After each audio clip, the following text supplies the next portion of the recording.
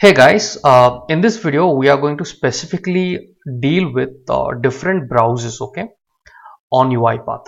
How you work on different browsers, how does that work? This is going to definitely help a lot of beginners if you are starting your learning journey. Then you would like to know how to really deal with a different browsers, let's say Google Chrome, Internet Explorer, Edge, Mozilla Firefox, there are many multiple things, right? So let's get started before that we have ample of videos on UiPath so on our channel please do subscribe to our channel. And on a regular basis we upload videos on our channel. So please do subscribe and hit on the bell icon to stay up to date. So let's get started and understand.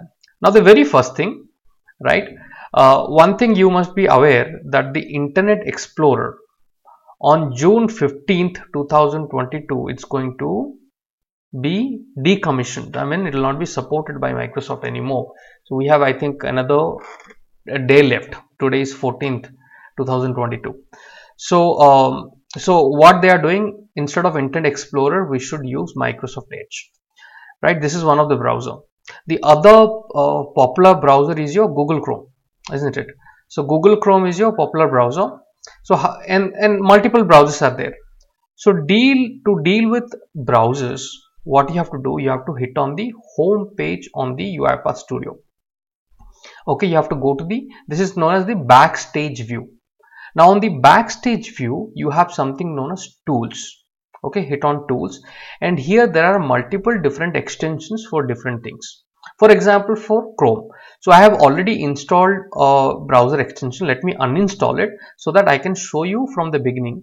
And the entire process would take hardly a second UiPath extension for Chrome was uninstalled for current user. Okay, it has been uninstalled. what I do, let me close all the, you know, before you install any extension, it is advised to close that application completely. And now I need to hit on install. Okay, so here it is saying the UiPath extension for Chrome was successfully installed for current user.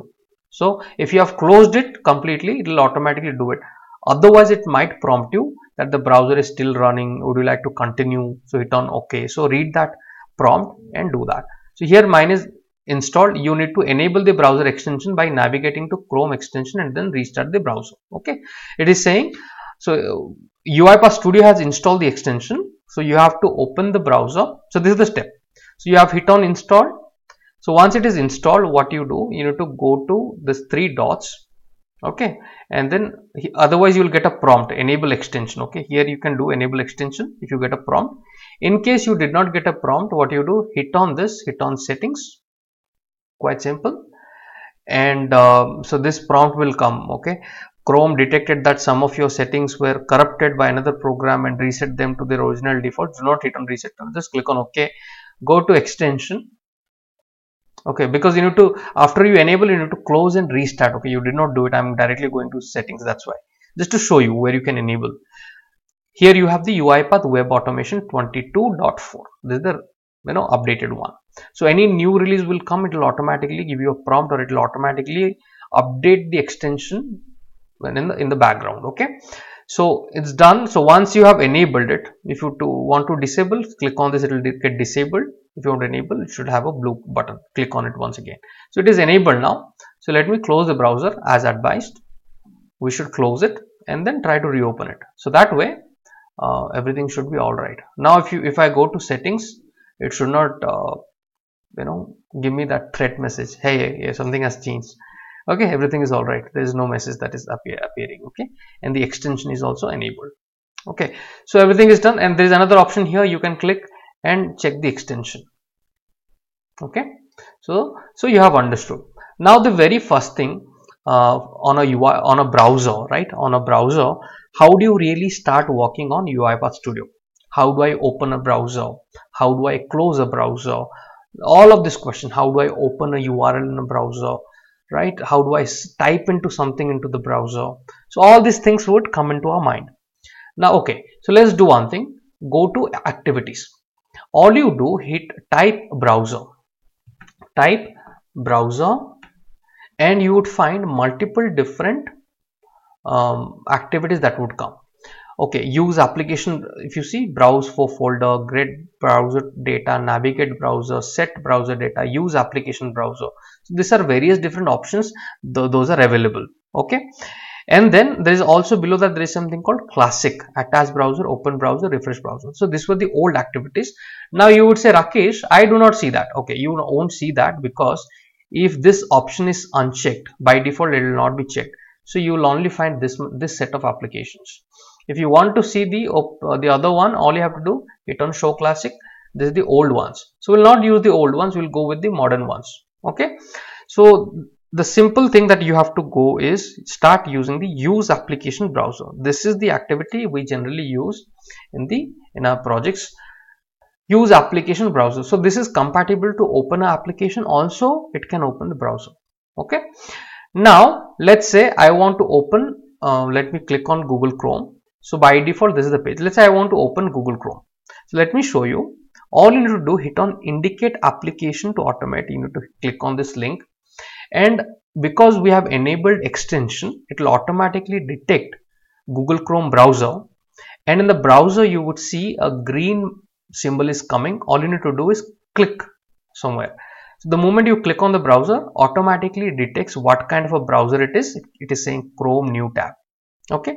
And it has detected the application automatically and it has got the symbols for you okay?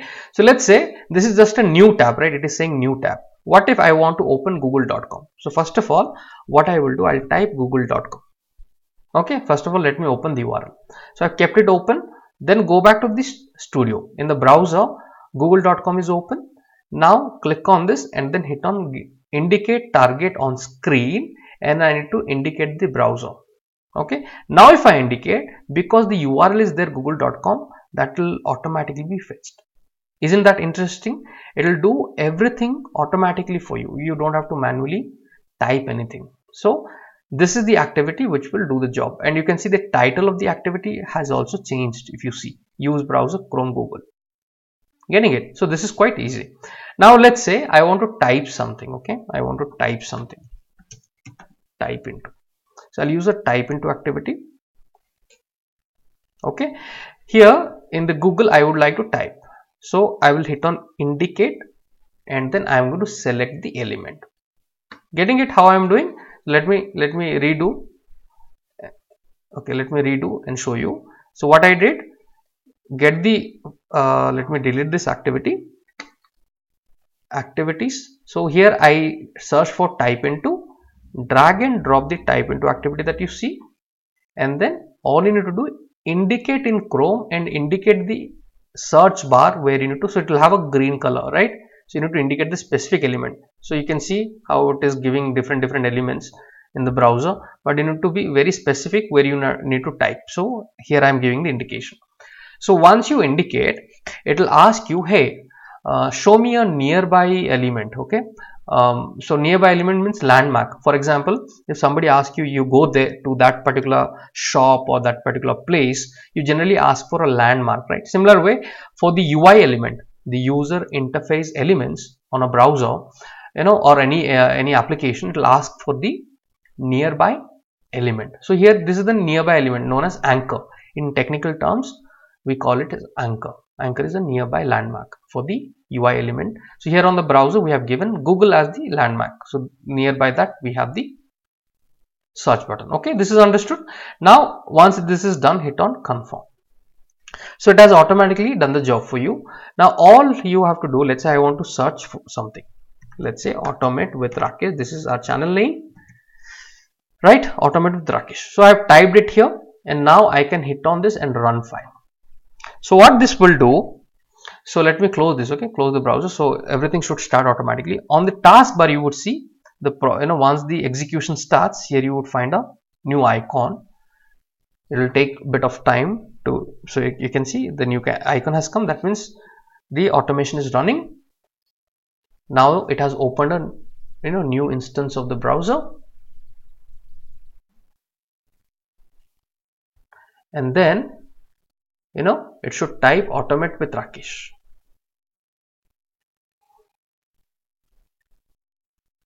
Okay give it a few second so automate with Rakesh okay? It has typed and it has closed. So the browser has been closed. Now you will say it has typed automate with rakesh but it did not show me anything right? It's closed. So why? Because after typing you generally what you do you hit on enter. So how this can be done? Click here click here and search for enter or simply type e on your keyboard and select the enter. So just by doing that what would happen? Automate with rakesh enter. The code will be entered for you. So if you see the behavior now right and i don't want it to be closed right it was closing the browser um, you know it did not allow me to see it what it what it did. So if you don't want that to be closed select the top activity and here there's an option close okay so here you can select as always close or never. So if i select never so what would happen if you highlight it says dot never. It will never close. So all those modifications you can do. Let me run file so up to your requirement.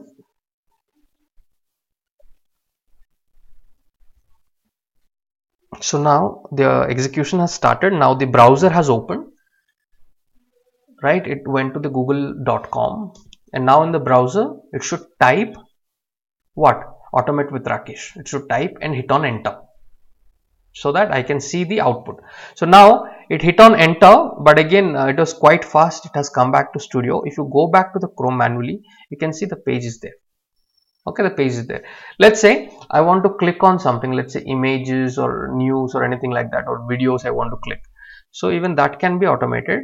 So all i have to do go to activities panel because i want to click the activity that i should look for is click. Getting it? Click. So i'll hit on click. And then uh, let's say i'm going to indicate into chrome and then i'm going to say this is the section it should click so that I can see the videos from automate with Rakesh let's say. And then it is asking um, you know nearby anchor. So nearby anchor is what? It could be all it could be news. So I'll select all okay nearby landmark. So hit on confirm. Done. Now let's see um, you know how how this one works. So let me save hit on and run file. And before that let me close the one which is open. So it will start from the beginning. Okay. So these are the couple of things as a beginner uh, we have to learn. So you can see it has execution started. It is opening the browser. And now in the browser it will type the term automate with Rakesh.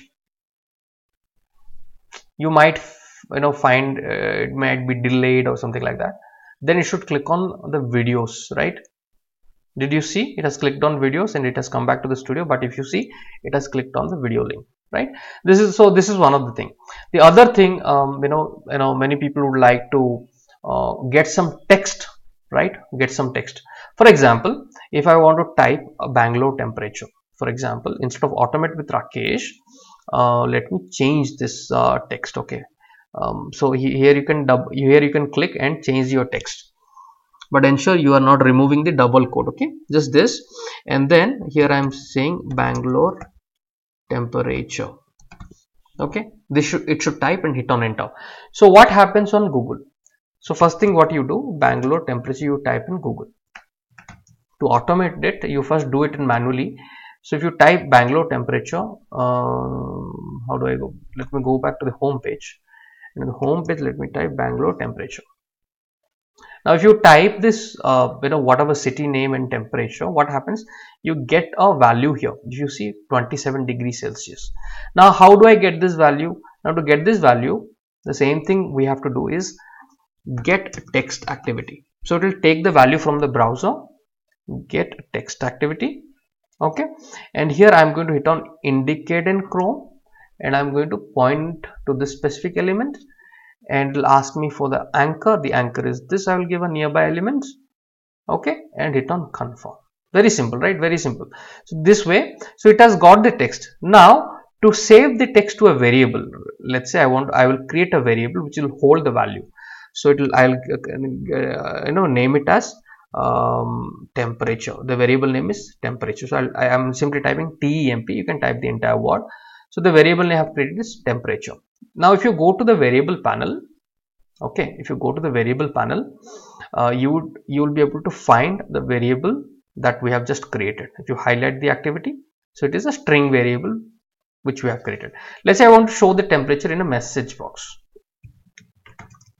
Right. So it will fetch the data from the browser and finally it should show the temperature in a message box. And here I would like to type um, the current uh, Bangalore Bangalore temperature is colon space. And then it should show me that uh, variable. So I'll hit use a plus sign. And what is our variable name? Temperature temp so I'll type temp that's all. Very simple. Okay. So this is what I have done plus temp I have written now let's see how this one is working. Let me close this and then hit on run file. Okay hit on run file. And now you will see it will open um, chrome open the browser. Okay it has opened the browser once again now what this time it should type? It should type bangalore right? Bangalore temperature. So let's see if it is typing or not. Let's wait for a second.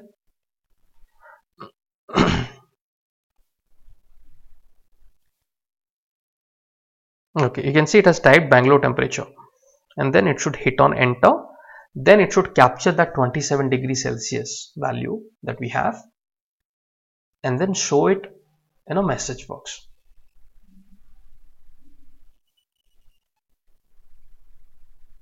Okay. So the execution is still going on. Until this one is there on the taskbar the execution is still running.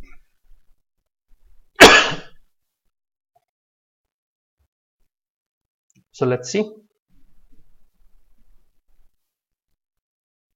If it can fetch the data and show it to us. It might take a little bit of time. Okay. So now you can see on my screen the current Bangalore temperature is 27 degrees Celsius. So you can modify all those things. You can write a degree Celsius with double quote like this right? So all this can be done. So now it is showing us the value. So this is very interesting. Similar way many people would like to really learn a lot of things right? Uh, as an enthusiast um, you know as a as a learner you would like to learn a lot of things. All you do um, you know go to youtube okay? I'll tell you how do you find my channel and how do you really utilize all different contents that almost 500 plus contents you have created okay? If you go through all of them definitely you'll be a master in UiPath so you'll just type automate with Rakesh on your browser and then uh, this is the channel okay? Just click on the logo. Now if you click on the logo um, this is my channel uh, homepage okay?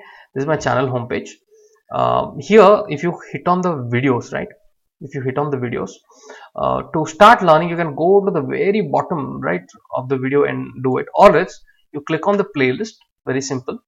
Um, so in the playlist the very bottom playlist is all about um, you know learn variables data types control flow basics all basics how to create a sequence how to create a flow chart everything in detail i have shown you. Now one challenge you would find the activities may not because um, you know it was uh, you may you may find some older activity to work on the older because you have to learn even the old activities okay? You can't ignore. So here all you have to do hit hit on show classic. Okay show you know enable show classic and all the activities that is taught in this 55 different basic videos you will be able to find them by just enabling show classic and go through this entire playlist so once you are done with this then move on to the Excel and data table. Then move on to uipath key techniques for master playlist email automation pdf automation re framework excel automation. So you can go advanced as you want and you can pick your own specific playlist. Okay this is how you should start your learning journey. So thank you guys for watching this video. Um, you know please do continue uh, please do subscribe to the channel in case you have not done it already. Um, right please do subscribe and stay up to date with uipath information uipath knowledge uipath practical scenarios. Thank you guys. Take care. We are going to meet once again in our next video. Bye bye